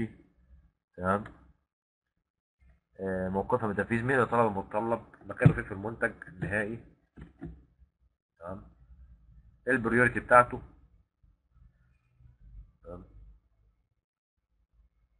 بحيث إن أنا أقدر أعمل control على المتطلب دوت. يعني أعمل عليه control يعني إن أنا أعرف المتطلب ده اتنفذ ولا ما اتنفذش. طب ما اتنفذش طب هيتنفذ إمتى؟ تمام؟ آه، بحيث إن ما يجيش العميل يحتج عليا آه، ويقول لي مثلا في م- مطالب أنا كنت طالبه وما اتنفذش لا لما تكون المطالب اتنفذ هتقدر تعرف مكان المطالب ده فين من traceability matrix دي. هتقول له مكان المطلب إن هو هو مدي عندي ال state بتاعته إن هو اتنفذ implemented طيب إزاي implemented implemented يوم كام؟ implemented مثلا يوم كذا في شهر كذا في سنة كذا. تمام؟ يعني اتنفذ لما لما كانوا في في في العنصر النهائي مكانه في حتة فلانيه يبقى اذا أقدر إن أنا آه، أعرف أتابع أي مواصلات. ده الهدف. طب لحد هنا كده إحنا هنقف إن شاء الله عشان وقت ال- ال- المحاضرة آه، انتهى. آه، يعني يا ريت بس في شكل هو عايزكم تقروه ال self study ده اللي هو الفرق بين ال project scope statement اللي إحنا لسه قايلينها دي. تمام؟ و project charter تمام؟ الفرق بين ال project scope statement وال project charter. ده يحتوي على إيه وده يحتوي على إيه؟ ماشي؟ دي بتبقى self study إن شاء الله. إحنا إن شاء الله ال- ال- المحاضرة القادمة بإذن الله هنقول فيها آه، طب هي في جزئية ممكن أقولها في دقيقه ال scope creep و ال gold plating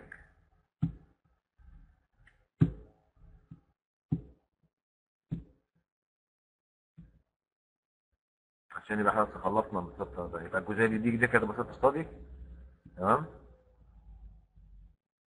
الفرق يا جماعة ال scope creep means uncontrolled. خد بالك من الكلمة دي uncontrolled changes. That cause the team to be to be to do uh, extra uh, يعني شغل إضافي.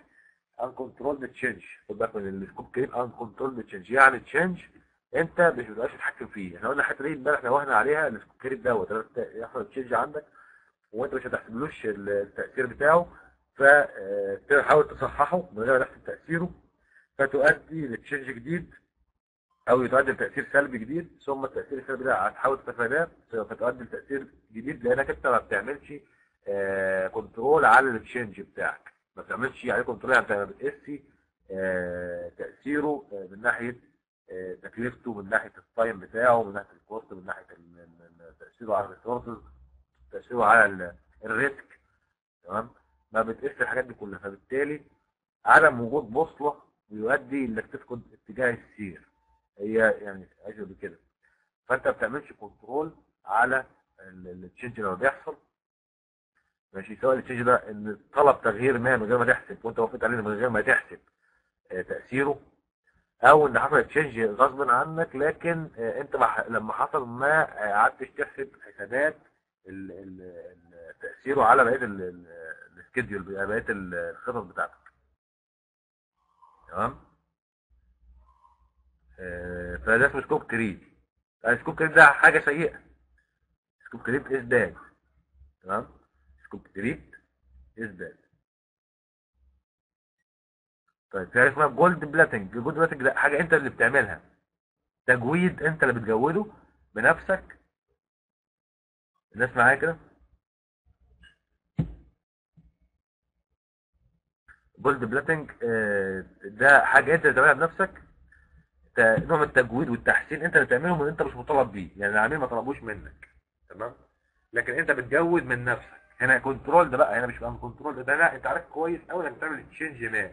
انت بتجامل العميل بتجامله بتجامله بس هو مش هيدفع ثمن المجاملة دي مش هيدفع ثمن التجويد المستوى ده من الجودة. عمال تعمل test ات بقى ما طلبهاش العميل بس عشان العميل بقى إيه يبقى المنتج أو الحاجة ال- ال- ال project بتاعك يطلع بنتيجة كويسة والراجل يعمل acceptance على طول ويوافق ما يبقاش في مشكلة في التسليم وبتاع.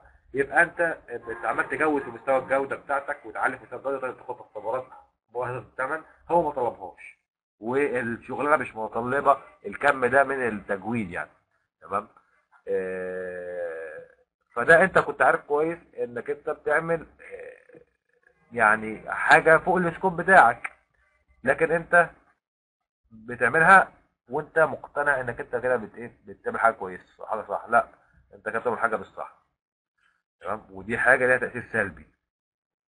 تمام؟ فبالتالي ال gold plating ده فرقه عن ال scope creep ان ال scope creep unchanged ان uncontrolled change أما ال- ال gold plating ده ده حاجة آه، يعني تع- تعرفها أو توصفها أهو ماشي؟ إنما أنت بتزود فيها وتحسن وتضيف features العميل ما طلبهاش أساسا. ومحدش هيحاسبك كفلوس يعني محدش هيدفع لك ثمن الحاجة دي.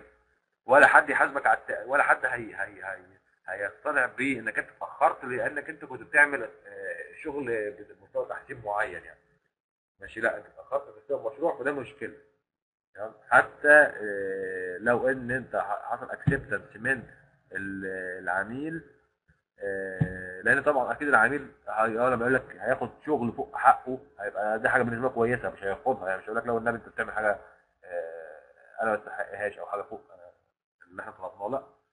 هو هيحس آه كويس ما خير يعني يجي يعني يقول لك اللي يجي منهم فايدة يعني. تمام؟ آه فبالنسبه ما تعملش أكتر من الشغل المطلوب. فال gold plating ده إنك بتعمل شغل أكتر من المطلوب.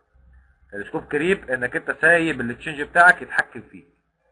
سايب ال change بتاعك يتحكم فيك. فهنا ال ال ال ده الفرق بين الاثنين ده تعريف ال scope creep وده تعريف ال gold plating تمام؟ وقلنا الكلمة الفرق ما بينهم والاثنين bad الاثنين حاجة سيئة. لكن آه، الفرق إنك أنت في ال gold plating أنت بتبقى عارف أنت بتعمل إيه لكنك أنت بت بت بت بتزود التجويد وفي في ال scope creep أنت بتبقى uncontrolled change ماشي؟ لحد هنا هنقف بإذن الله. إن شاء الله هنكمل ال- المحاضرة القادمة بإذن الله. ومعلش لو إن إحنا المحاضرة القادمة كنا بنتكلم آه، بسرعة لأن إحنا عندنا ثلاث عمليات لسه ما خلصناهمش وعايزين نخلص إن شاء الله الشابتر إن شاء الله آه، المحاضرة اللي جاية. بحيث إن إحنا آه إحنا مثلا آه، يعني الناس آه، يعني أهم حاجة الناس تكون فاهمة. بس إحنا برضو مش عايزين إن إحنا ناخد وقت طويل في جزئية ال scope. إحنا خدنا وقت طويل جدا في جزئية ال integration. يعني أطول من اللي إحنا توقعناه بكتير. فعايزين إن إحنا نبقى يعني إن شاء الله المحاضرات القادمه بإذن الله. نحاول إن هي ال chapter آه، يبقى في محاضرتين إن شاء الله. يعني لو حضرتك اضطريت في حالات استثنائيه إن هو يبقى ثلاث محاضرات بس إحنا هنحاول المستطاع انه يبقى الشابتر يخلص في محاضرتين عشان برضو وقت الناس إن الناس تبقى الكورس خلصته في مدة معينة ما يبقاش إحنا تجاوزنا آه، المدة ديت بمسافة كبيرة. بشكركم جميعا على حسن استماعكم يا ريت لو في أي أسئلة ممكن تبعتوها سواء على المنتدى أو على الإيميل.